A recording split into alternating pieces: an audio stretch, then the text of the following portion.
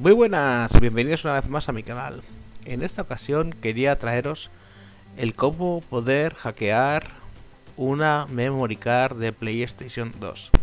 De esa forma tener dos hackeadas y así una poder prestársela a un amigo o bien tener una de repuesto en caso de que nos falle la que tengamos.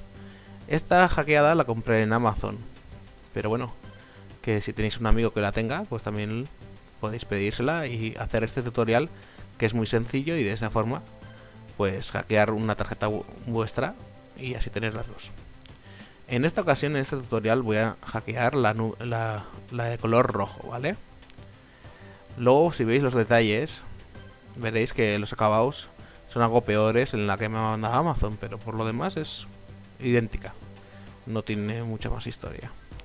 Entonces, como os estaba diciendo, la hackeada la voy a clonar y convertirla la roja también en una igual que la, que la negra. Vale, pues mmm, mucho más no os puedo contar. Simplemente que vamos a empezar ya el tutorial y espero que os sirva. Pues adelante. En este tutorial lo que vamos a necesitar es una tarjeta virgen, que es la roja, y una con ya el software, con el custom software ya instalado, que es la negra, ¿vale? Que es la que he comprado en Amazon. Y para pasar este software de una a otra memoria necesitaremos un pendrive, ¿vale? Que aquí al final lo que insertaremos es el mismo software que tiene insertada la negra. De esa forma traspasárselo luego a la roja. Ahora simplemente nos falta irnos con el pendrive al ordenador. Una vez en el PC, enchufamos el USB, no lo enchuféis al revés y nada, eh, nos vamos ya al monitor. Una vez en el PC, nada, vamos al, USB y le damos a formatear. Lo más importante aquí es que tenemos que poner en FAT32, si no, no nos reconocerá el pendrive.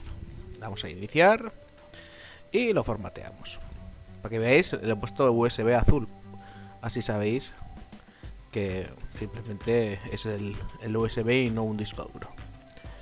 Ya está formateado y seguimos con el tutorial. Una vez que ya tengamos ya formateada la memoria, abrimos la raíz de la memoria. donde está la memoria abrimos.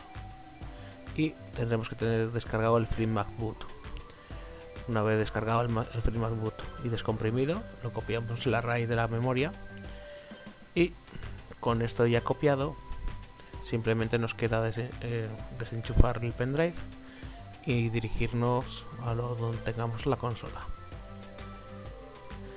Donde está la consola, ahora simplemente tenemos que enchufar la memoria virgen en el slot 2, ¿vale? En el puerto 2 de memoria. Y en el puerto 1 enchufaremos la que tiene el hack. Una vez enchufada estas dos memorias, solo nos quedaría enchufar el pendrive que teníamos copiado en su interior, el, programa, el MC Boot.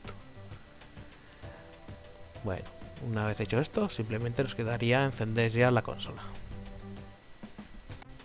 Una vez con la consola encendida, cargaríamos ya el custom firmware de la tarjeta negra, ¿vale? Aquí nos interesaría un launcher, ¿vale? En la tercera opción. Ahí está. Le damos. Y en este menú simplemente le damos al redondo. Una vez que le hemos dado al redondo, bajamos hasta que ponga más. ¿Vale? Que es al final la opción del USB. En el USB elegiremos el Free Boot y, aquí tenemos que darle a FMC Installer.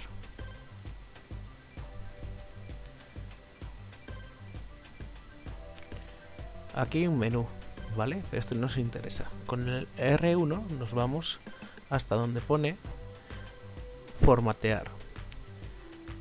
Esta es la opción para formatear nuestra tarjeta de memoria. Es importantísimo que le deis a la ranura 2, ya que ahí es donde tenemos la roja, ¿vale? nunca formateéis la 1, ¿eh? Una vez que ya terminé, nos vamos ya de nuevo al principal, al menú principal con el R1 y le damos a instalar el RAN 2 y todo normal, ¿vale? No le deis a multiregión ni nada así porque al final puede no suele funcionar muy bien, pero bueno, yo prefiero instalarlo normal. Una vez que lo instale y lo finalice, que esto lo pasaré un poco más rápido.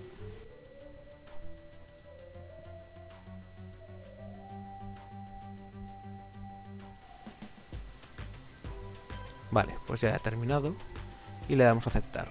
Ahora solamente nos quedaría darle a salir y colocar de la siguiente forma las memorias.